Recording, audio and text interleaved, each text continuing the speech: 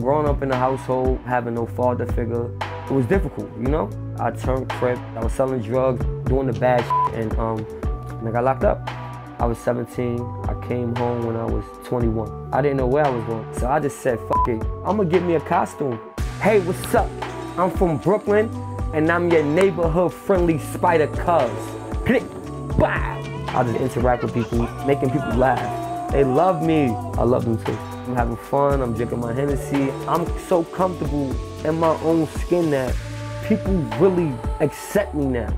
Spider Cuz changed my life because it's like a different person.